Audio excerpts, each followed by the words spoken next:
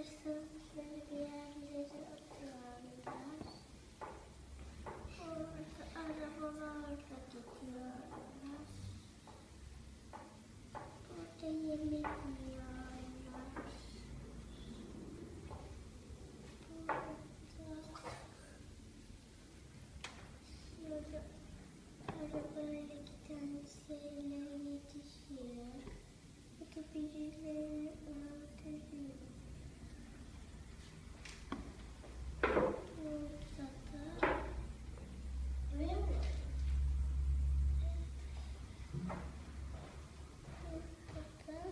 birisi girmesini görüyorlar.